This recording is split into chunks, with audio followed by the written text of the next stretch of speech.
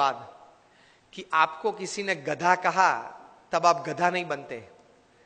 आपने अपने sleeves role करना चालू कर दिया, मुझे गधा कहा? अब आप बने।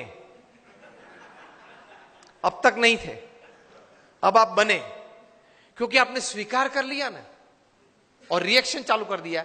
The moment you start giving reaction and responses to negative you have accepted that negative in life keep the attitude of not accepting the attitude of not accepting negative in life can give you stability किसी ने गधा तो बोल दिया, बोलने वाला तो बोल गए। प्रमुख समय हम सब मानते हैं कि महाभारत क्यों हुआ? महाभारत क्यों हुआ? उसका मेन रीजन क्या है? मूलभूत कारण? द्रौपदी जी ने क्या बोला? अंधे का बेटा अंधा। बराबर? सबने ये उत्तर दिया। इसलिए मानते कि यहाँ से वो दुर्योधन को जरा उसका मान भंग हुआ और पूरा महाभारत हो गया। पूरी दुनिया ये कहती है, प्रमुख स्वामी का एटीट्यूड डिफरेंट है। प्रमुख स्वामी कहते थे, अगर द्रौपदी नहीं बोली होती तो कोई और बोला होता। लेकिन दुर्योधन में यह समझ नहीं थी कि बोलने वाले तो बोलते हैं, मैं कहाँ आंधा हूँ, मैं तो देखता हूँ, चाहे वो बोले।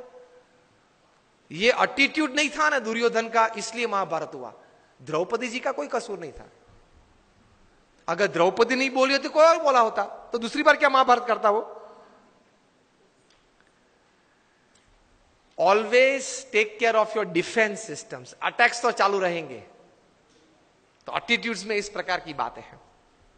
काम में, संबंधों में।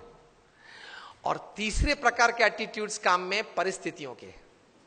प्रमुख सही महाराज न्यूयॉर्क में थे, रूम छोटा था, किसी ने बताया कि स्वामी जी रूम छोटा है? स्वामी ने बोला, छोटा रूम अच्छा। पावर कम यूज़ होता है।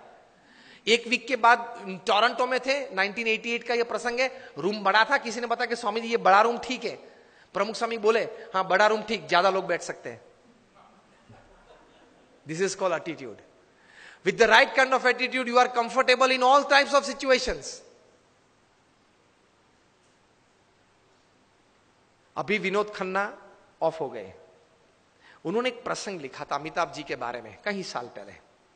कि एक बार शूटिंग में जाना था, उनको जरा लेट हो गया ट्रैफ़िक की वजह से, वे आधा घंटा देरी से पहुँचे। और अमिताभ जी अपने जीवन में कभी लेट नहीं पहुँचे सेट पे। तो ओवर कोट पहनना था तो उन्होंने वो तो ड्रेसअप हो गए थे हैट बैट जो शॉर्ट था उसके हिसाब से। बहुत गर्मी थी और पसीना चल रहा था अमिताभ जी के चेहरे पे से। और विनोद जी ने कहा sir I am very sorry कि सर लेकिन इतनी धूप में आप यहाँ बैठे हो, इतना पसीना? अमिताभ ने कहा कि ओ पसीना? ओ सॉरी पसीना क्लीन कर दिया। सर, आपको ये धूप और ये पसीना नहीं लग रहा है? Amitabh said I have come here for work not I am not a sensor who can give like a thermometer what is the heat मैं यहाँ काम करने के लिए आया हूँ। मैं ये अपेक्षा से नहीं आया हूँ कि वातावरण, परिस्थिति मुझे अनुकूल हो। जो भी परिस्थिति है, मैं तैर करके क्या आया हूँ? काम करना है। तो ये धूप और ये पसीना, आप जब बोले तब मुझे पता चला कि धूप और पसीना है। मैं काम करने आया हूँ। तो कोई भी परिस्थिति आपको अपने गोल से विचलित नहीं कर सकती। If you decide to have the right kind of attitude in life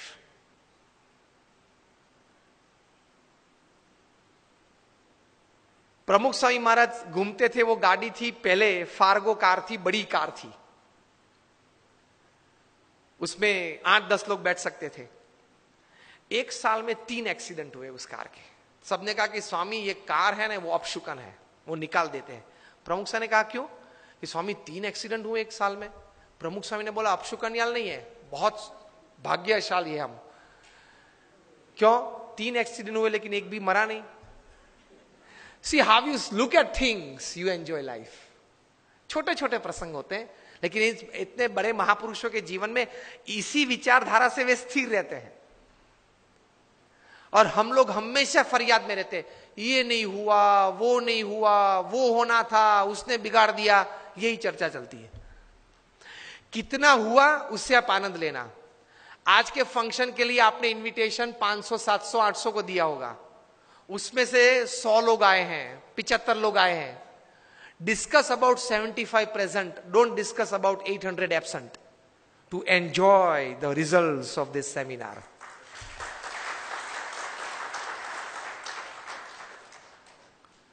Discuss about हुआ प्रेजेंट एंजॉय तो किया ने आनंद तो आया ने कुछ तो मिला ने प्रेजेंट तो थे उसकी चर्चा करो ना और यार उसको तो तीन एसएमएस भेजे थे वो नहीं आया नहीं आया ठीक है उसकी चर्चा क्यों ज़्यादा करनी है जो आए हैं, मिले हैं, बैठे हैं, आनंद कर रहे हैं, कुछ पाके जा रहे हैं, उसके चेहरे देख के आनंदित हो जाओ। Attitude towards positivity in life